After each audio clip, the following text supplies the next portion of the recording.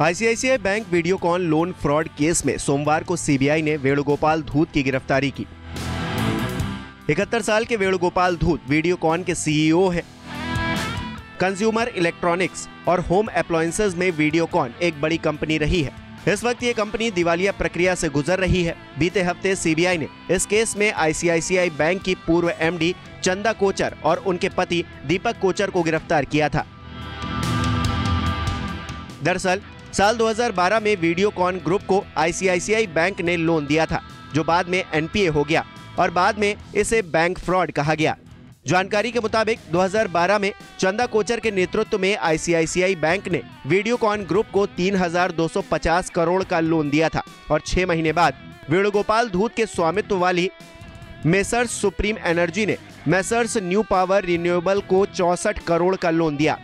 जिसमें दीपक कोचर की 50 फ़ीसदी हिस्सेदारी है।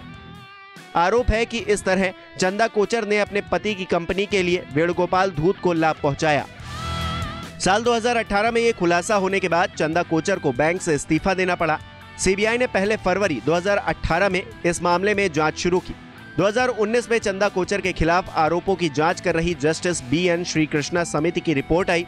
समिति ने अपनी जाँच में पाया कि वीडियोकॉन को कर्ज देने के मामले में कोचर ने बैंक की आचार संहिता का उल्लंघन किया। कोचर की स्वीकृति पर इस कर्ज का कुछ हिस्सा उनके पति दीपक की मालिकाना हक वाली कंपनी को दिया गया। बहरहाल, चंदा कोचर, दीपक कोचर और अब वेणुगोपाल धूत को गिरफ़्तार कर लिया गया है। कभी देश के टॉप टेन अमीरों में शामिल रहे वेणुगोपाल धूत भी कानून के शिकंजे में हैं।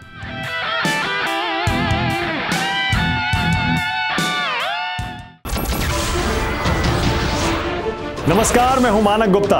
अगर आपको हमारा ये वीडियो पसंद आया हो तो इसे लाइक और शेयर ज़रूर करें।